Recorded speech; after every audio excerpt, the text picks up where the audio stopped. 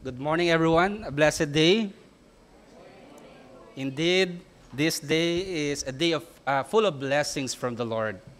And I'm sure that uh, we will be blessed all the more if we are ready to receive the Word of God this morning. I hope na nag-pray tayo kanina no? that uh, the Lord will speak to us uh, through the message. Especially that uh, last week we have started a new series on the book of Second Timothy And I hope that we can now appreciate our role uh, in passing on the faith to the next generation. So ito po yung ating pong series, ano, uh, pass it on. We have that responsibility from the Lord na ibahagi or i-share, ipasa po ang mabuting balita, the gospel uh, to other people, especially to the next uh, generation. And let me begin by asking you a question. As uh, I flash on the screen, uh, think about this. Uh, if you will be given a job that will endanger your life, people will hate you, friends will abandon you, you will be imprisoned for it, and without regular compensation, will you accept it? To be honest, I think I will not accept this very difficult job. Uh, you will sacrifice your life for this. But do you know that there is a biblical character who accepted this uh, job that was given to him by the Lord Jesus Christ. So I'm referring to the Apostle Paul. Why did he receive, or why did he accept this uh, very difficult job? Sa tingin niyo po. Tingnan natin po uh, sa 2 Timothy chapter 1 verse 11. The gospel for which I was appointed a preacher, apostle, and a teacher. So he recognized here that it is the Lord who called him, who appointed him to the ministry as a preacher, as a messenger, as an apostle of the Lord Jesus Christ.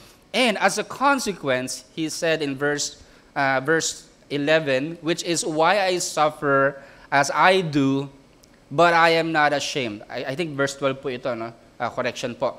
Which is why I suffer as I do, but I am not ashamed, for I know whom I have believed, and I am convinced that He is able to guard until that day what has been entrusted to me.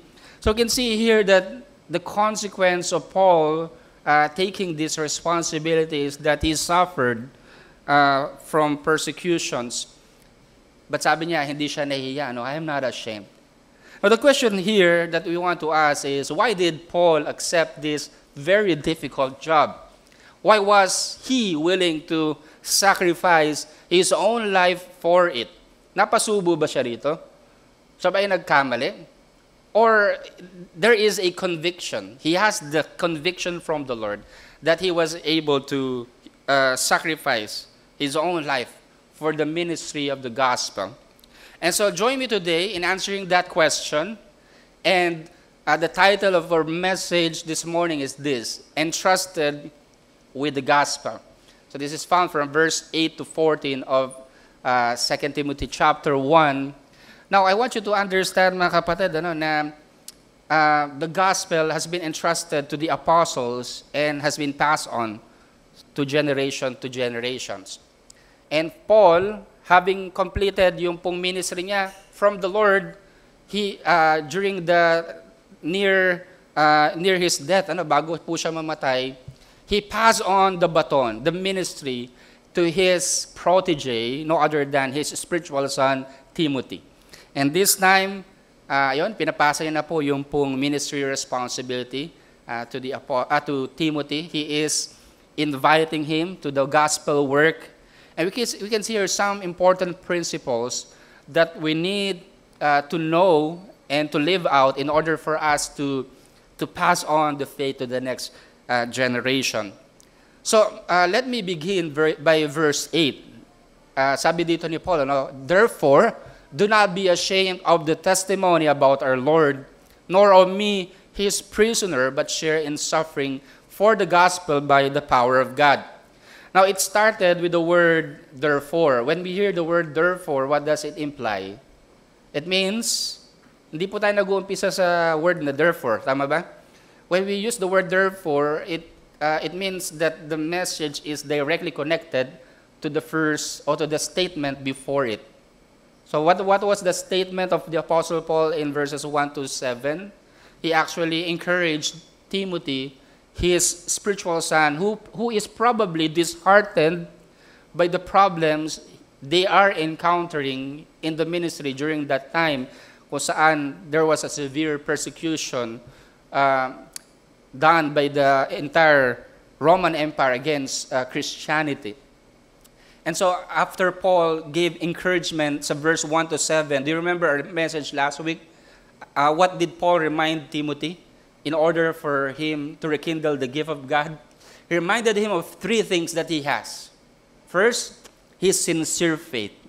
Second, his sure calling. And third, his uh, source of power. These are the things that Paul reminded Timothy uh, to encourage him to rekindle the gift of God which is in him.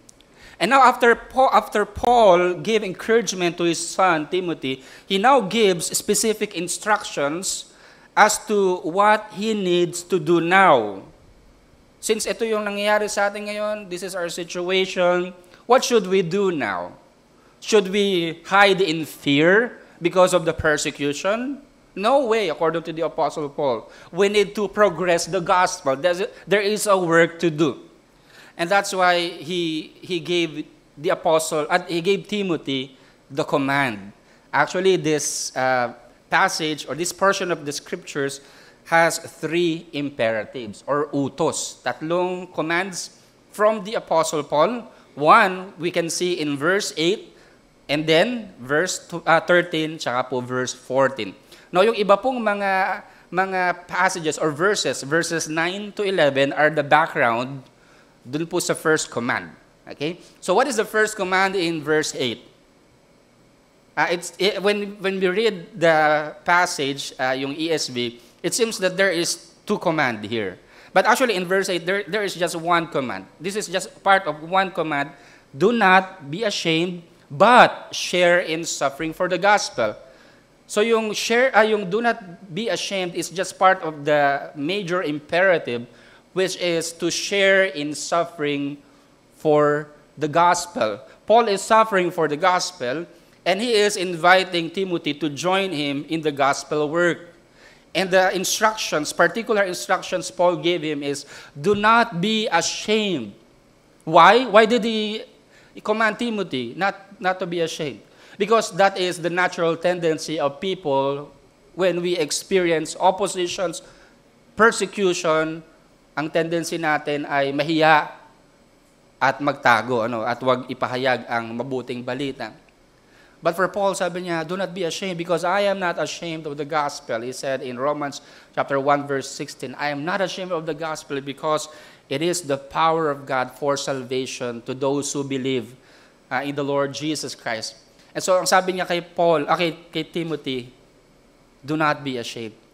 This is not just probably the attitude of Timothy during this time, but minsan tayo, nararamdaman din natin yun, ano? that we, we are ashamed sometimes of sharing the gospel to other people. Naranasan nyo ba yun na kayo matakot, mahiya uh, to share the gospel with other people? And during this time, it would cost him his life.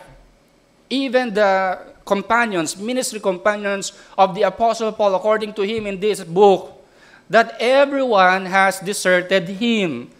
Nobody is with him. He is alone. And that's why he was writing to Timothy actually during this time. He was alone. No ministry companions. Even the closest companions, Demas, and all others, according to chapter 1, all other people in Asia, my ministry companions, they all deserted me. I am abandoned. I am alone, according to the Apostle Paul.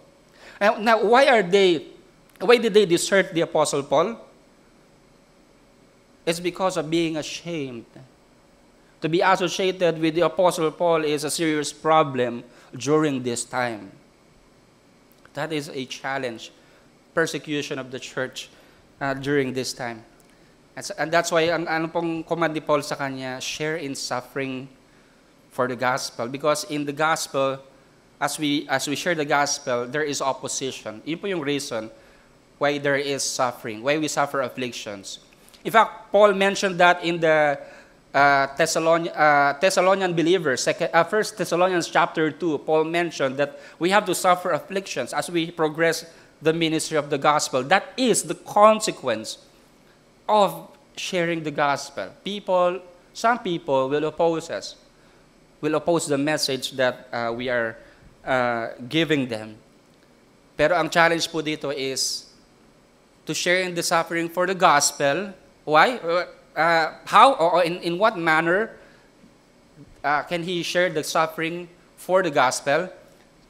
Ayan, uh, makita po natin po dyan sa verse po na yan. So the first uh, thing, uh, first principle that we can learn from this is that people entrusted with the gospel should not be deterred or stopped by persecutions. Hindi po dapat tumigil ang pagpapahayag ng mabuting balita dahil lamang sa mga opposition. Minsan natatakot tayo, no? we, we think na, nako, wag na lang natin ituloy kasi people might persecute us. We might feel uh, ashamed of the gospel. But for Paul, according to him, hindi dapat matigil ang gawain po ng pagmimisyon. Suffering is part of the gospel ministry. Kasama po yan, bahagi po as we, uh, hindi lang po suffering ng uh, physically, but yun nga po yung opposition po ng mga tao. Now, we can see here the reasons why Paul mentioned here kung bakit po uh, kung bakit hindi dapat po matigil ang gawain po ng pagmimisyon. First, makita natin dito the manner by which uh, the, uh, we can share in the suffering of the gospel, for the gospel. Ang sabi dito ni Paul, by the power of God. We are not alone in this difficult job. We have the empowerment available from the Lord. Jesus himself mentioned that when before he left his disciples. In Acts chapter 1, verse 8, he said to them that when the Holy Spirit comes to you, you will receive power and you will be my witnesses. So we are not alone. The empowerment of the Lord is available for those who follow the mandate of the Lord Jesus to share the gospel to other people. And so this uh, verse 9 to 11 or verse 9 to 12 tells us the reason why there is an urgency to pass on the gospel to other people. Two reasons that we can see here from the Apostle Paul. First is that it is because the gospel is a blessing from the Lord. And second reason is that it is a trust. Ipinagtiwala po sa atin. So let's see first yung pong blessing ng gospel as we read in verse 9. God who saved us and called us to a holy calling, not because of our works, but because of His own purpose and grace, which He gave us in Christ Jesus before the ages began. Paul now uh, tells Timothy yung bigat nung mabuting balita na ating daladala. This is not an ordinary message. This is so important because the, the gospel is the means by which God saves people from death. Ito yung paraan para ang isang tao po ay maligtas Makilala niya po ang Panginoong Heso Kristo sa pamamagitan po ng mabuting balita. Kaya po sabi ni Pablo, huwag mo itong ikahiya ang testimony, ang pagpapahayag patungkol sa mabuting balita. Because in the gospel, we are saved. Ano po yung salvation dito? Not, not because of works, according to the Apostle Paul. Hindi dahil sa gawa natin na tayo po ay maliligtas. But because of His grace sa biyaya ng Diyos and purpose before the ages began, sabi dito, pinlano na po ng Diyos ang ating pong kaligtasan. And as, according to verse 10, and which now was being manifested through the appearing of our Savior, Jesus Christ. So this is a message. The gospel is the message about our Savior, Jesus Christ. And what did Jesus Christ do? He abolished death and brought life and immortality to light through the gospel. Now, I personally like the words that were mentioned here immortal life. How many of you wants immortal life? Ang dami po siguro, yung mga, walang tumas. Naalala ko, naalala ko yung Marvel, eh, no? pag mga immortal life, si Thanos, ano, mga ganun. But immortal life, this is the message. about eternal life. The gospel is a message about eternal life. Jesus abolished death. And death is a universal problem. It is a problem from the time of Adam up to this generation. People die. And that's the reason why we all need the gospel because everyone, every person in this world will die. That is the urgency. And Jesus, He abolished death. The very problem of humanity, tayo po ay mamamatay. Pero hindi po matatapos doon, no? We can receive eternal life from the Lord. There is urgency. It is only, this is the means by which people will be saved from sin and death. Yung pong mabuting balita. I want to highlight the word through the gospel. Through the gospel. It is through the preaching of the gospel, the message, yung pong good news, ebanghelyo. Yan po ang pinapahayag po natin sa tao. This is the only means, wala na pong iba, that people will come to the saving knowledge of the Lord Jesus Christ, that they will encounter or experience Christ personally for their salvation by believing in Him, according to Ephesians chapter 2, verses 8 to 9. By faith in Christ, tayo po ay maligtas. That is our salvation. It is by the grace of God. So this is a, a blessing. Do you agree? The gospel is a blessing from the Lord. Through the gospel, the message of, of salvation is revealed para po sa ating pong lahat. Hindi na po tayo lalayo pa sa lahat po ng lugar kung saan tayo pupunta. Death is a reality. We live in time where people are so exposed to death. Pandemic, daming death. War, daming death. Everyday crimes, at kung ano-ano pa, we see death. People need the gospel. That's the first reason why there is an urgency to pass on the gospel to other people. This is a blessing. Kapag nakatanggap ka ng blessing, ano pong gusto natin? Share po natin sa iba. So, aside from being a blessing, the gospel is also, is also a trust. According to the Apostle Paul, hindi lang to nagbibigay ng pagpapala ng kaligtasan, but it is also a trust, as we see in verses 11 to 12. Sabi ni Paul, for which, the gospel for which I was appointed a preacher and apostle and teacher. So he recognizes that there is a responsibility given to him by God in view of the gospel. And he is, of course, not all our apostles, not all our uh, preachers and, and uh, teachers. But do you agree, lahat tayo pinasahan ng mabuting balita. Ano? And for Paul, this is his specific ministry. I was appointed as an apostle of Jesus Christ, a messenger of the gospel. And because of that, according to him, verse 12, this is the, the consequence of that uh, ministry. Sabi niya sa verse 12, which is why I suffer as I do, but I am not ashamed. Sounds familiar? Suffer, saka ashamed. Isn't that the command of Paul to Timothy? Do not be ashamed, share in suffering. I am not ashamed, and I am suffering because of the gospel, because this is a trust. God has entrusted the gospel to me, and now I am entrusting them, uh, this gospel to you. So for Paul, this is a life. Hindi lang po ito theory, But passing on the gospel to other people requires a lot of sacrifices. It is a trust. Pinagtiwala po ng Panginoon po sa kanila at pinagtiwala rin po sa atin.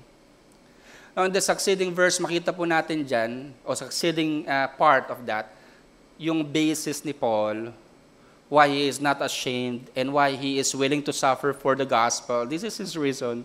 For I know whom I have believed, And I am convinced that He is able to guard what has been entrusted to me. Now, you notice the words, I, yung word na I know, ano? I know. Knowledge of Christ. It's not a th- theoretical knowledge of the Lord Jesus Christ, but it is a personal knowledge of Jesus. I know Him and I believe in him. So it is his knowledge of the Lord Jesus Christ and his faith in the Lord Jesus Christ that fuel that passion to pass on the gospel to other people. I am convinced of the gospel message according to the Apostle Paul? Are you convinced of the message of the gospel? Do you agree or are you fully persuaded by the message of the gospel? Do you know the Lord Jesus Christ? Because the depth of our knowledge of Jesus Christ and our faith in Him would cause us to be willing to sacrifice for the gospel. Again, the gospel is both a blessing and a trust. That is the main lesson that I want to uh, share with you ngayon pong umaga. The gospel is not just, does not just give blessings. Of course, we all want blessings. Lagi tayo doon sa blessing yan. Pag, pero pag trust, pag responsibility na involved, Lord, pwede yung blessing na lang, no? yung tanggapin ko. We tend to parang refuse accepting responsibility. Because in Christianity, we think that everything is just taking, taking, taking from the Lord. But those who take the, the blessing of the gospel also has the responsibility to share it with other people. That is the truth. We are indebted to God because of the salvation that we receive from the Lord.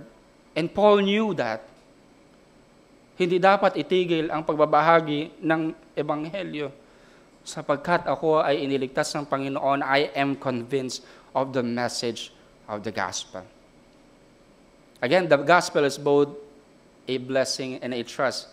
And that's why I want to ask you some reflection questions. On the scale of 1 to 10, how passionate are you in passing on the faith to the next generation? Do you strive to do it? Is it your priority in your life? Pass it on to others. And secondly, are you willing to make sacrifices for the advancement of the gospel? Or should I ask you, what sacrifices is God asking you to do for the, for the fulfillment of the gospel, for the advancement of the gospel in your family, in your workplace, in your community? God wants you to bear the message of the gospel. So number two, makita natin dito is that people entrusted with the gospel should not depart from correct teaching. Kanina, do not, we should not be deterred by persecution. Today, uh, this time, we, we should not depart from correct teaching. Meaning, we need to follow the exact message that was passed on to us. Kailangan accurate po. No? Sabi ni Paul in verse 13, Follow the pattern of the sound words that you have heard from me in the faith and love that are in Christ Jesus. What is the command here? To follow the pattern. Yung pattern means example or standard, pattern. Diba? We, follow, uh, we need to follow the pattern of what? Of sound words. What is sound words here? Hindi po yan tunog lang, ano yung sound. It's not, it's not tunog. But when we hear the word sound words or sound teaching, it means correct doctrine or correct teaching. It is a responsibility to verify what we receive. And we verify that through the scriptures. Kinakailangan sundan natin yung pattern of, according to Apostle Paul, what you heard from me. That means the gospel or the sound teaching that Paul passed on to them. So napaka-importante po ng mga kapatid yung pong pattern or yung yung standard. Alam niyo po ba na ang Jollibee Chicken Joy, na, mahilig po kayo sa Jollibee, do you like Jollibee Chicken Joy?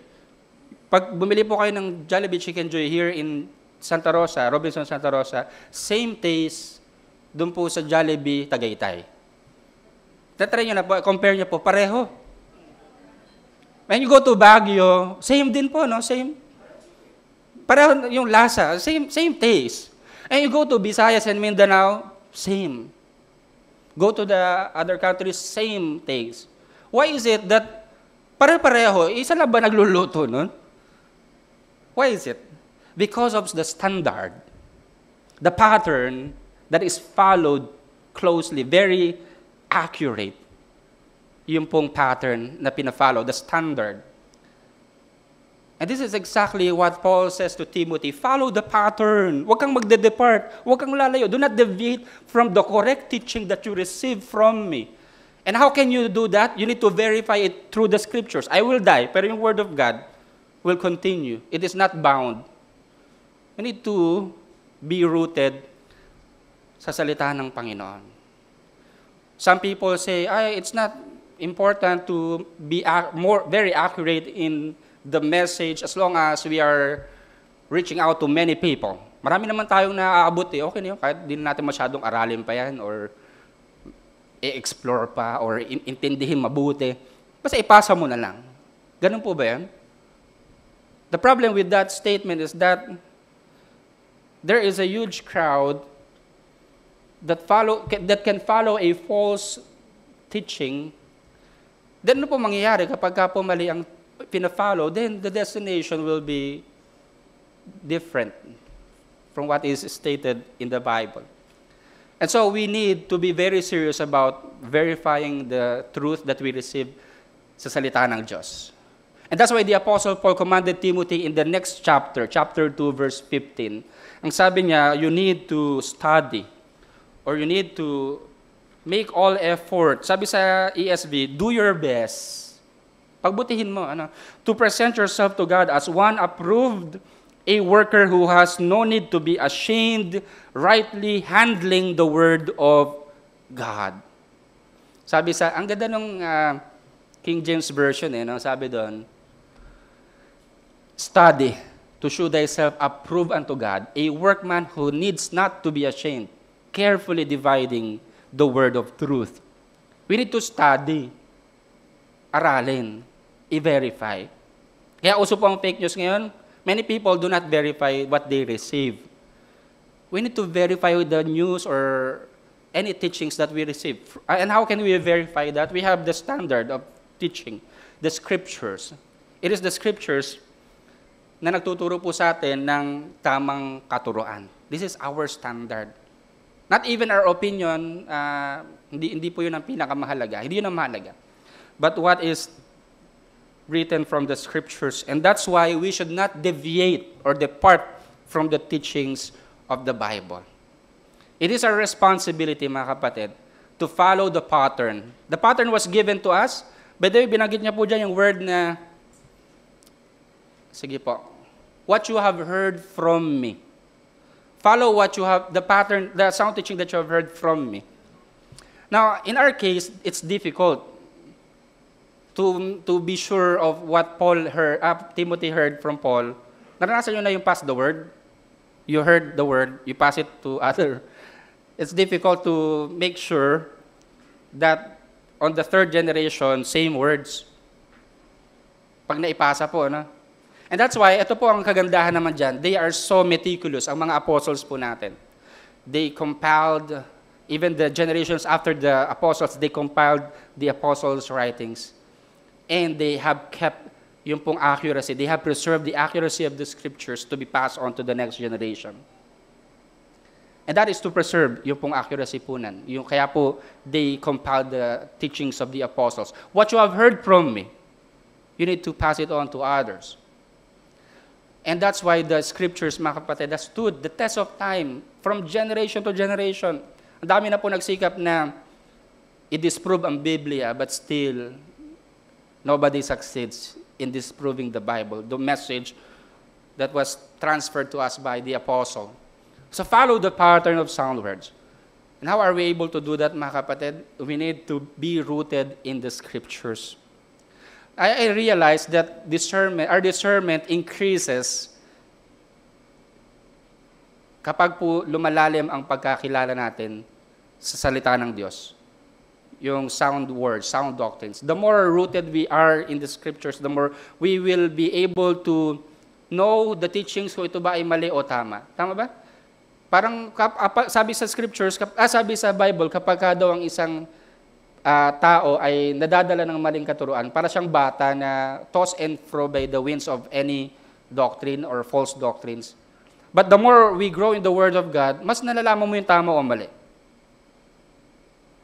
And so this is a challenge for all of us. Follow the pattern of sound words means be rooted in the Scriptures. Know your Bible, mga kapatid. This is a, our responsibility. And of course, the parents, this is a responsibility of parents to, to uh, help their children to follow the, the correct teaching from the scriptures. And how are we able to do that? First, we should follow the teachings, be rooted in the Word of God. Ang dami pong mga maling katuruan na nagkalat po ngayon. Everywhere. Hindi tayo lalayo pa, ano? Pilipinas lang po, ang dami na pong mga false teachers. When you open your Facebook, you see many uh, video clips about teachings of false teachers. And how, as parents, will you able to guard your children from the false teachings? Paano po mga kapatid? You need to arm them with the weapon of God's Word. God's Word to combat all other false, all false teachings. Yun po yung, yun po yung way para matulungan natin ang mga kapatiran, ang family natin, your, the people you are discipling, you want them to, uh, na hindi sila ma, ma, uh, maniwala, mapaniwala ng mga maling katuruan. Our responsibility is to arm them. Bigyan mo ng armas ang anak mo, ang disciple mo, yung salita ng Diyos. Help them to be rooted in the Word of God. And here in the of Santa Rosa, that, that is what, what we are doing here. We want to be rooted in the Word of God. We have a lot of trainings. Siguro, siguro po itong mga trainings po na ito ay di naman po kulang sa atin. Napakarami po na pwede po nating atinan. In fact, uh, during the Sunday afternoon, meron pong Ruth Camp ang ating mga kalalakihan. But, pati yung mga asawa nila nagjo-join na rin. No? But you know, after the Ruth Camp, we have other camps. Genesis camps, Abraham camp, ano pa, Joseph camp, New Testament, etc ang dami po nating pwedeng matutunan at ituro sa ating pong mga anak. So the, the responsibility here, mga kapatid, is tayo po, kailangan nating magpalalim sa salita ng Diyos to, in order to follow the sound words uh, from the Lord Jesus Christ. Again, the gospel is both a blessing and a trust.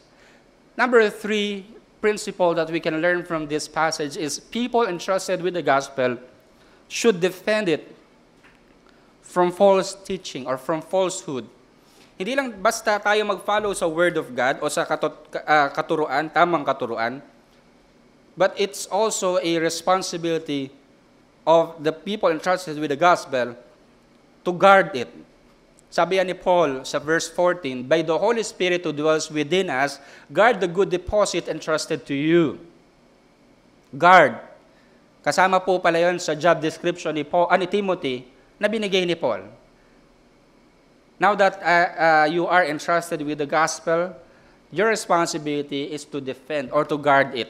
Hindi yung palaaway ka, lagi ka nakikipagdebate, nakikipag-away ko kani-kanino. That's not how you defend the gospel. But you, you, you keep it, do not allow any false teaching to infiltrate or dumihan yung authentic message of the gospel.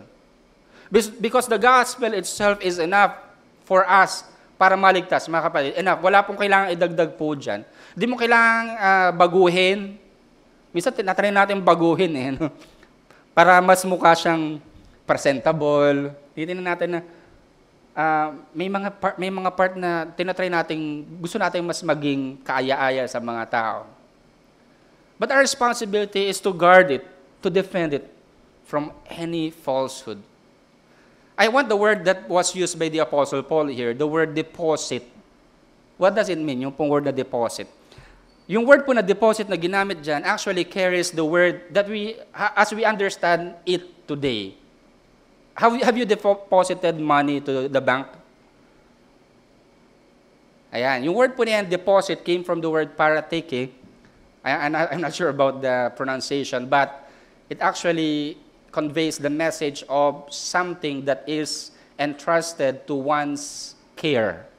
Entrusted to one's care. That's para take or deposit. And Paul said, the gospel has been deposited to you. you. You were given the deposit. And so, kung tinanggap mo yan, what is the responsibility of the people who receive the deposit? Pag nagbigay ka sa bangko ng pera mo, what is their responsibility? It's their responsibility to secure it from online scammers, etc., It's their responsibility because you have entrusted to them your resources. Same with the gospel that has been entrusted to our care. We need to guard it, the purity of the gospel. We need to defend it from false teachers. During the time of the Apostle Paul, false teachers have infiltrated the church. Nakapasok po sila. And Paul wanted Timothy to guard the deposit. Yan po yung utos niya po dyan. Ano? Guard the good deposit entrusted to you. This word, uh, same word, ginamit yan sa verse 12. Ano? For I know whom I have believed and I am convinced that He is able to guard until that day what has been entrusted to me or deposit. Sabi sa verse, uh, chapter 2, verse 2, this is the same, uh, yung com- command ni Paul sa chapter 2, in continuation dito sa message niya rito. No? Ito yung command niya kay Paul, ah, kay Timothy. What you have heard from me, yung in-entrust sa akin ng Panginoon, binigay ko sa iyo.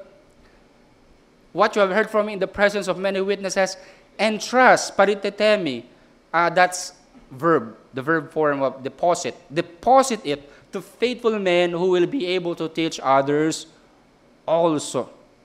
This is a command of Paul. Yung deposito na nasa iyo, ay alag, pangalagaan mo yan, guard it, and pass it on carefully. Very carefully to other people. Same words sa chapter 6 verse 20 ng 1 Timothy. Ito yung unang letter ni Paul kay Timothy. Binanggit niya na po yung word po na yan. Ano? O Timothy, guard the deposit, paratike, entrusted to you avoid the irreverent babble and contradictions of what is falsely called knowledge. Now, yung knowledge dito does not mean biblical knowledge. This is gnosis. It actually is uh, parang false teaching of during the time of the Apostle Paul. In fact, uh, mas lumala po yung uh, gnosis or Gnosticism after the apostles. Pero during their time, merong so-called knowledge na binabanggit ng mga false teachers and they are departing from the truth of the Word of God. They, they are there. And sabi ni Paul, avoid them. Do not associate with them. Hindi ibig sabihin na pag nakita mo sila, lalayo ka. Ay, ayoko makita to. But it means, avoid them means, do not allow yung, yung maling katuruan na ma-infect ang tamang katuruan, ang tamang, ang mabuting balita. You have to guard it. Why? This is the reason. For by professing it, some have swerved from the faith. Some have swerved from the faith. Ang daming nailigaw sa maling katuruan. Itong mga tao po na ito. In fact, yung word po na swerved, nag-swerve na po kayo? Nahuli kayo swerve? You, nagbago ka ng line eh, no? nag-swerve sa faith eh.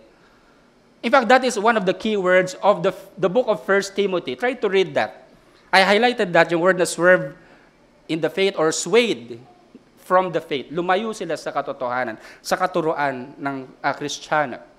They were in the church, but they were uh, kumbaga, they, they swerve from the faith. Napasukan po sila ng maling katuruan. And that's why, yung challenge ng ni Apostle Pablo kay Timothy, guard the good deposit. Guard the gospel. Because any distortion of the, of the truth will result to a huge problem, hindi lang sa mga nakikinig, to all the people will receive false message or, me, or yung message ng na nabahiran po ng maling katuruan.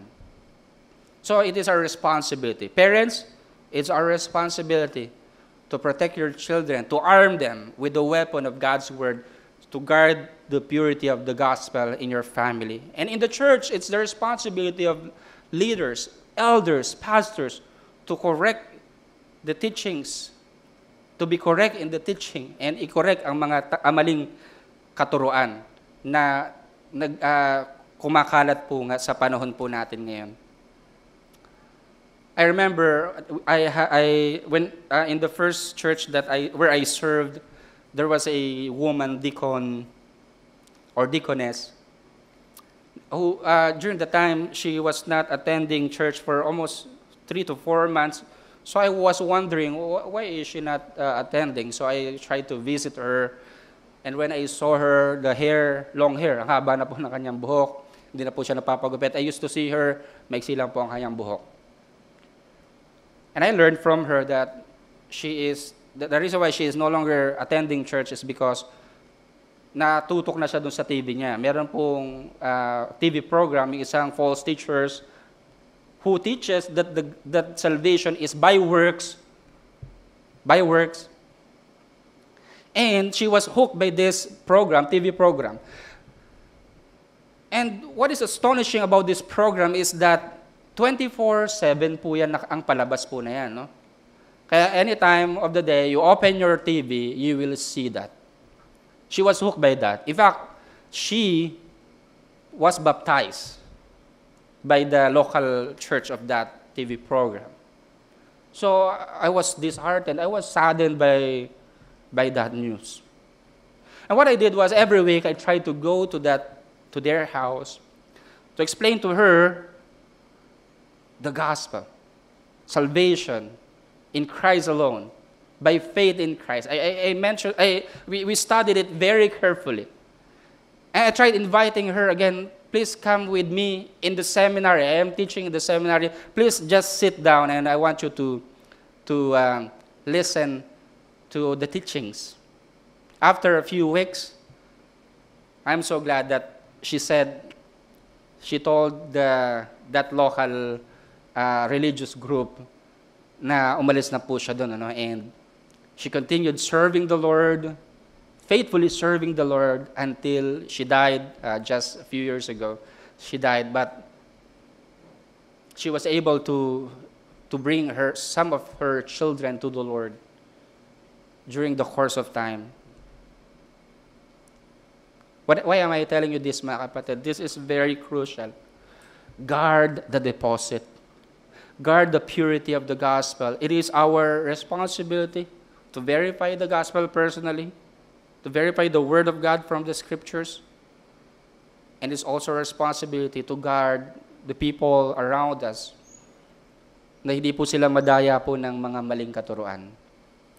Again, our message is the gospel is both a blessing and a trust. As a summary, this is our message. Do not be deterred by persecutions. Do not depart from correct teaching. And we should defend it from falsehood.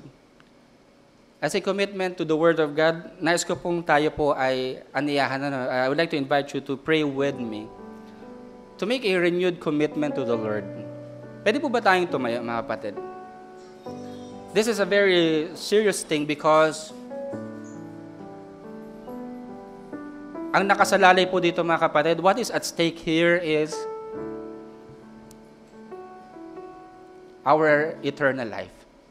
The, the life of other people, people around us. They are also souls just like us. And if they do not meet the Lord Jesus Christ, they will perish according to the scriptures. These souls, precious souls, will perish apart from the Lord Jesus Christ. And the only way for them to know, to get, to come to the saving knowledge of the Lord Jesus Christ is by, is through the gospel that is entrusted to you and me. And so the challenge is to make a renewed commitment to the Lord. Ngayon pong umaga, Lord, I will, I'm committing to pass on the faith. I want to know you deeper. I want to grow, to be rooted in, the, in my knowledge of the scriptures and to guard the authentic gospel from false teachings. Tayo po'y manalangin. Panginoon, marami pong salamat. You see parents that are here, young people who are here, Lord, and there is a struggle, Lord, to be ashamed of the gospel. At times, Lord, we feel ashamed. Forgive us, Lord. Dahil minsan natatakot kami. But sometimes, Lord, we forget that the gospel is a blessing that we have received from you. And also a responsibility, a trust a trust deposited to us, Lord. Tulungan mo kami, Panginoon.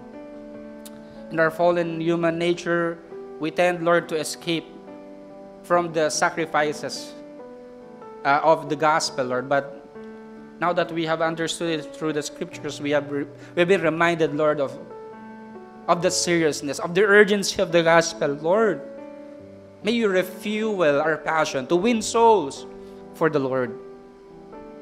Bless this church. Continue to, to deploy us.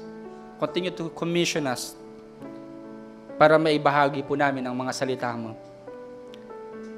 Ang sound teachings from the scriptures. Salamat po, Ama. We pray for each parents, for each parent that, that is here, Panginoon. We pray for your blessings sa kanila. Help them, Lord, to study the Word of God in their family, together, to be rooted, Lord, in the Scriptures, so that they will be able to guard their families from false teachings. Help them arm their children with the weapon of Scriptures, which is the only way to combat false teachings. Lord, bless each one of us. Bless the leadership of this church, oh God. Continue, Lord, to help us, empower us to defend the purity of the message of the gospel. Salamat po, Panginoon. We pray all of this in Jesus' name. Amen. Amen.